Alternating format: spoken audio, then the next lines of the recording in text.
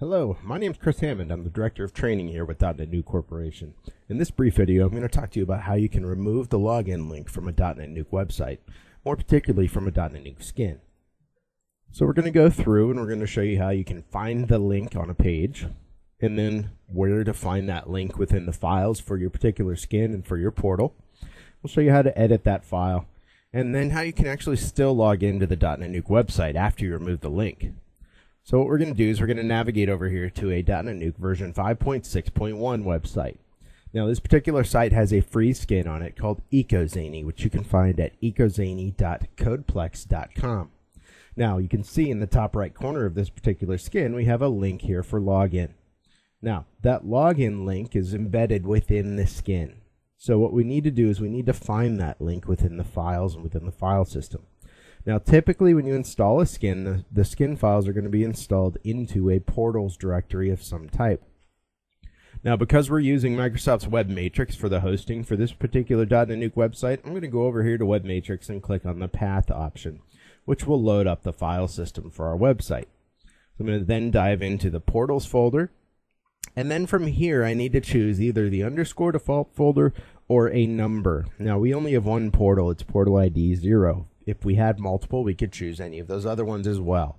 Now, when you install a skin, depending on where you install it from, either the host extensions menu or the admin extensions menu will determine where that skin is in the file system. Anything installed in the host extensions menu can be found in the underscore default folder.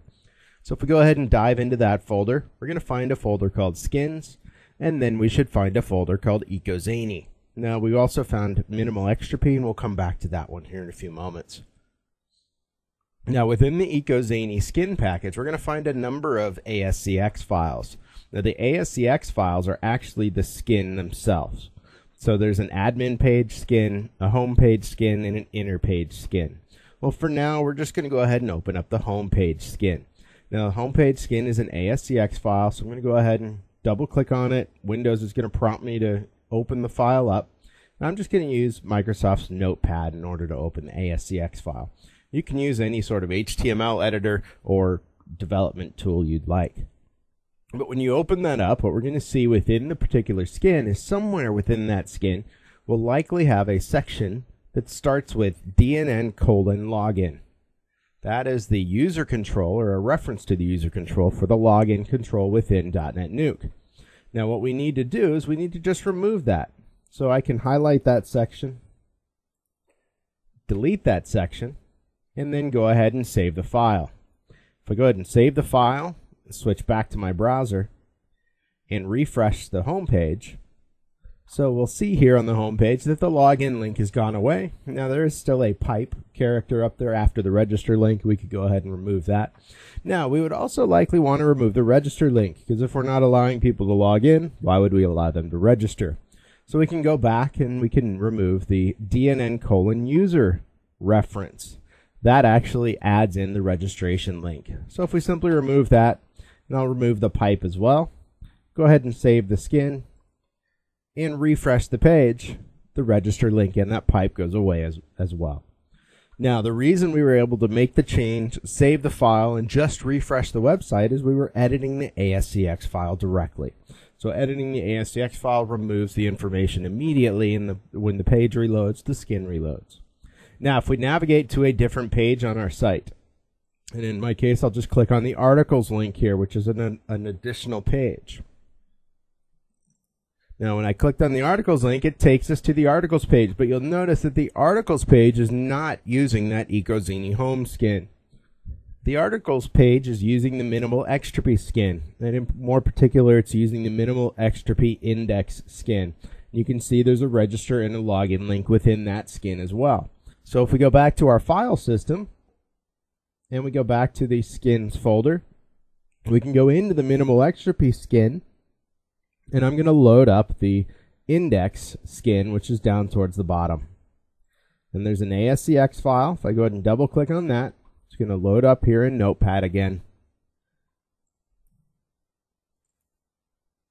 And if I just go ahead and search for DNN colon login, that'll take us down on the page to the login section. Now we can see that the register or the DNN user and the DNN login section are both there together. If you want to remove that from the minimal Extropy, extra P skin, go ahead and delete that, save the file, and if we switch back to our browser, we can reload the page and those links should go away. Now, within skins, there may be multiple different skin files. So there's different layouts. Depending on how many different layouts you're using, you may need to edit multiple files. Now that we've removed the login link, how do we log in as an administrator or a host user? Well, the easy way to log into a DotNetNuke website if the login link is not provided is to go to the end of the URL and type question mark CTL equal login. And by typing that, you're basically telling DotNetNuke load the login control. And you can see my URL is articles.aspx question mark CTL equal login. If I navigate to the home page and I type in question mark CTL login, the login control is going to be loaded there as well.